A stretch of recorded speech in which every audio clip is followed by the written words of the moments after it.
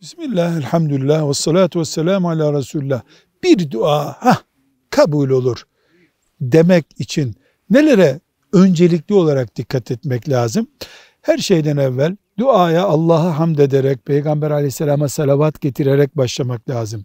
Abdestli ve elleri kaldırarak dua etmek lazım. Kıbleye yönelmek çok faydalı. Aynı şeyi tekrar da olsa çok çok çok kere söylemek lazım.